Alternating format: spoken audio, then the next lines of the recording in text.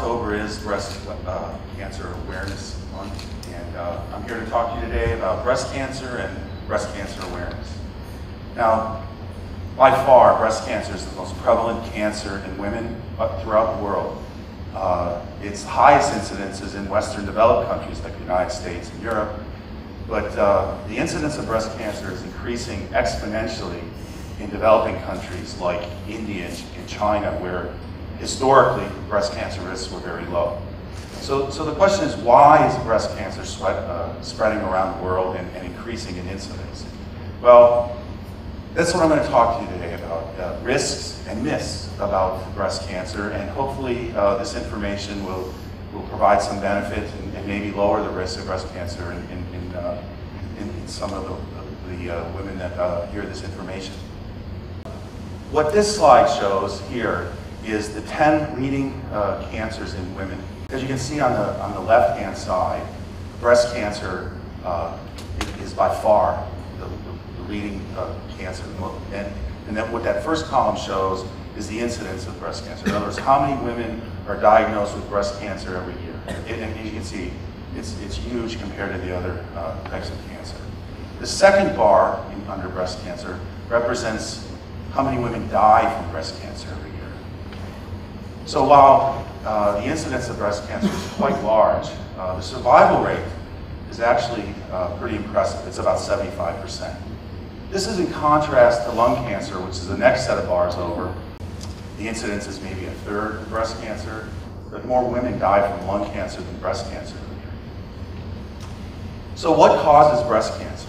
Well, there is a cause that we know of and that's a mutation of the BRCA gene. This is what's known as the breast cancer gene. Um, there are actually two of these uh, genes, BRCA1 and BRCA2.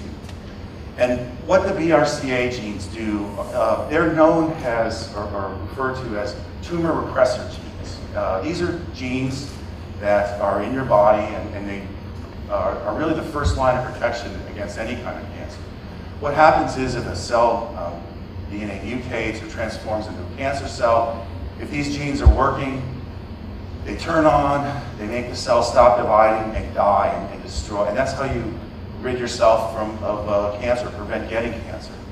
Now what happens is, if, this genes, uh, if these genes are mutated, um, they, they don't work. And as a result, the cancer develops and grows. Now, this gene was discovered in women who uh, were breast cancer runs in the family. In other words, the mother would have breast cancer, her sisters had breast cancer, their daughters had breast cancer, their granddaughters got breast cancer.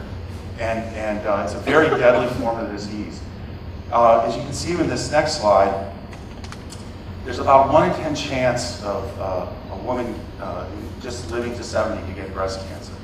But if you have a mutation of the BRCA1 gene, that risk goes up to 60%.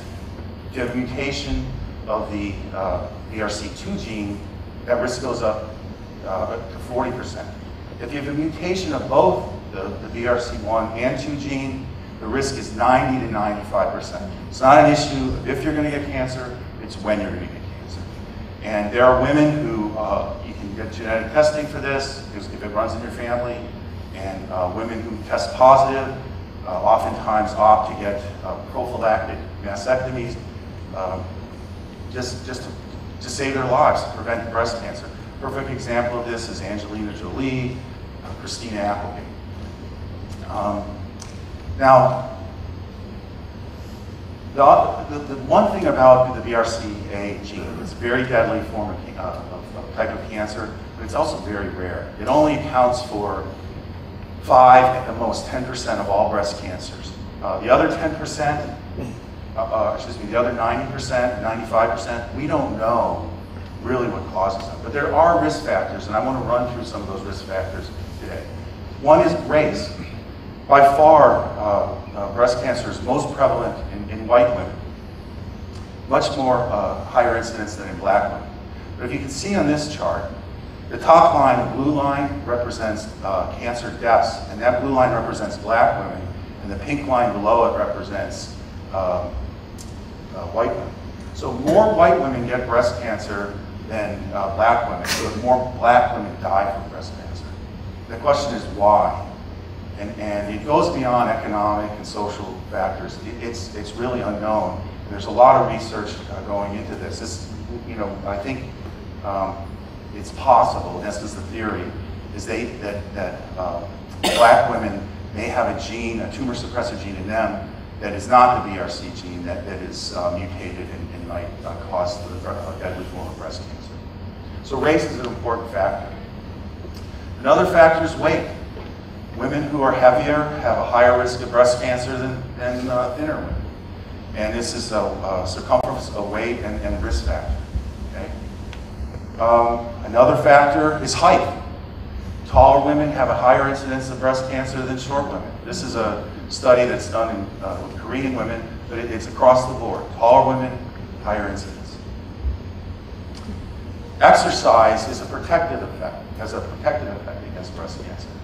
Uh, women who exercise regularly have a lower incidence of breast cancer than women who don't. But even if they do get breast cancer and they continue to exercise, uh, recurrence of breast cancer is, is, reduced by almost a quarter. And, and recurrence is oftentimes when a woman gets a, a tumor in one breast, has surgery, is cured, uh, years later they might get a tumor in, another, in the other breast. Uh, that's recurrence. So uh, it reduces that. Also, it, it reduces uh, mortality of, from breast cancer. And also overall deaths. I mean, it basically, people who exercise, cardiovascular disease, that's, uh, uh, is reduced, uh, along with cancer. So exercise has a protective effect. Uh, smoking, it's like the, uh, you know, the, it's, it's a terrible thing for, for not only lung disease and cardiovascular disease, but it exacerbates uh, many other forms of cancers, including breast cancer. And, and the study was just done, uh, published last year, that showed that women that smoke have a huge uh, uh increase in, in, in, breast cancer risk. There's other, there's other environmental toxins which are associated with risk. For example, uh, alcohol consumption, exposure to, to radiation, exposure to toxic chemicals, and like herbicides and things like that. Those are also risk factors. Those are environmental risk factors. But what is the number one risk factor? Okay, the, the, the, worst thing or the, the, the, biggest risk factor that, that's been established, and that's estrogen. A woman's lifetime exposure to estrogen is the, is the critical risk factor. And, and why? Well, estrogen stimulates the breast to grow. Uh, it stimulates normal tissue, it stimulates cancerous tissue. And the more estrogen you're exposed to, the greater your risk for breast cancer. let me, let me break this down a little bit in terms of uh, choices and, and, just basically lifestyles. The age of menarche, or, or really when a, a girl reaches puberty, when she has her first period. In the United States, the average is around 12, 12 and a half years old. If a, if a girl reaches puberty before that, it greatly increases her risk of, of developing breast cancer later in life. However, if she uh, can delay puberty, 13, 14, 15, uh, this is a huge protective effect. Uh, in, in, fact, a girl, uh, if you, you, can push it just a year and a half uh, past the average, uh, breast cancer risk is reduced by literally 50%. Another factor is uh, having children. This, these studies were originally done uh, studying nuns because nuns who, don't get married, don't get uh, don't have children, they have a, high, higher, much higher uh, incidence of breast cancer than anyone else, uh, and women as a whole.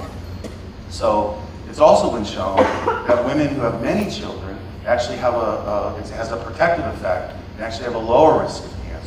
Another uh, point of this is children or women that have children when they're very young, uh, when they're teenagers or early 20s, also have uh, a very protective effect against, it also has a very protective effect against developing breast cancer.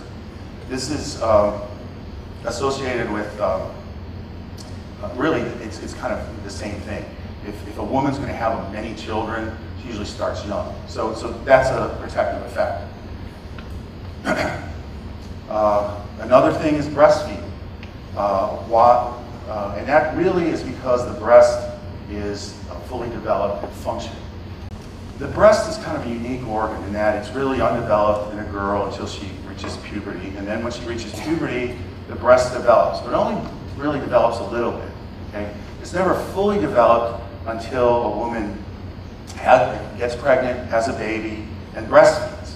And then the, the, the, the, cells in the mammary gland quit dividing, and they start functioning. And, and, and that's protective because basically the cells in the breast become terminally differentiated, it's called.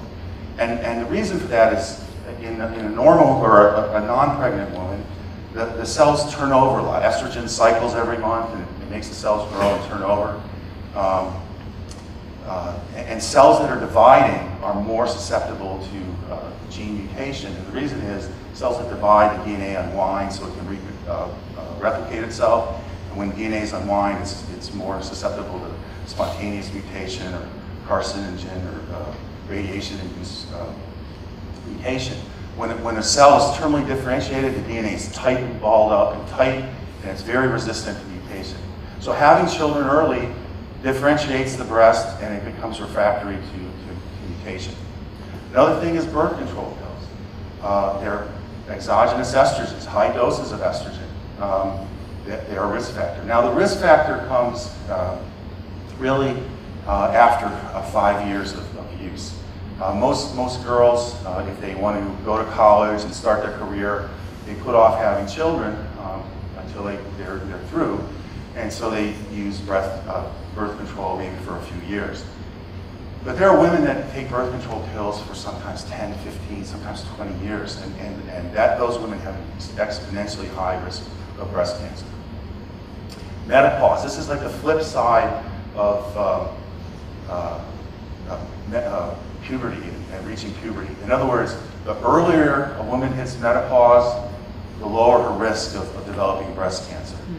The later a woman reaches menopause, the higher the risk because it's just more years of being exposed to the cyclic uh, changes in estrogen. And then when a woman does hit menopause, oftentimes they take hormone replacement therapy, uh, therapy to ease the uh, side effects of menopause, like hot flashes, and, and also prevents osteoporosis and things like that. Again, a few short period of time of estrogen replacement therapy is not dangerous. But um, some women uh, take hormone replacement therapy for many, many years after menopause, and, and again, the risk factor goes up exponentially. So this is a chart here that kind of shows a, a, woman's risk of breast cancer. And so when you're young, it's very low. And as you get older, it creeps up. And the, and the top line is a woman who never has children. That, that's a high risk group. But having children uh, reduces it almost 25%. And then if you add other things like avoiding alcohol and cigarettes and regular physical activity and breastfeeding, all these things lower your risk of breast cancer. So there's decisions that can be made and choices that can be made that will lower the risk of breast cancer. Now, currently the five-year survival rate for breast cancer is, is about 75%, but that's increasing every year.